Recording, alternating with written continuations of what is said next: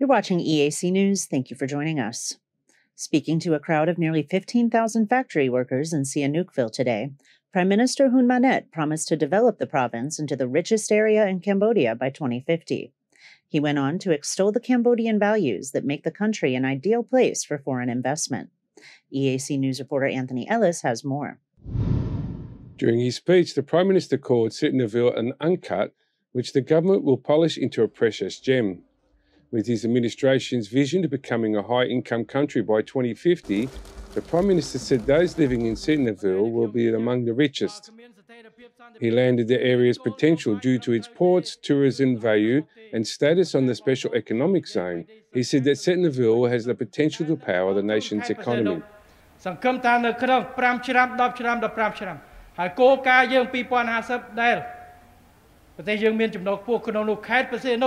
នឹងជាខេត្តនាំមុខគេមួយ នៅក្នុងកំណើនសេដ្ឋកិច្ចអ្នកខេត្តប្រសេនុដែលពីមុនគេហៅថាខេត្តគេថាអ្នកអ្នកកំពង់សោមអ្នកមាននោះក៏មិនខុសពីនឹងដែលនឹងអាចខ្លាយទៅជាខេត្តប្រជាជនមានចំណូលខ្ពស់ប្រៀបធៀបទៅនឹងខេត្តផ្សេងផ្សេងទៀតនេះជាគោលការណ៍ Prime Minister Hun Manet also mentioned three policies that make Cambodia more attractive and vulnerable to investors peace, open economy, and proper diplomacy.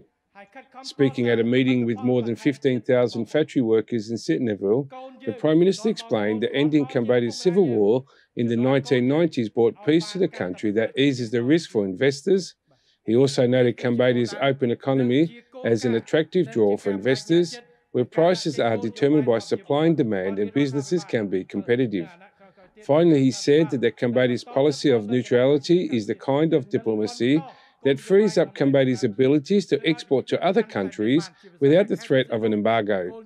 He emphasised that Cambodia does not consider any country as an enemy. Anthony Ellis, EAC News.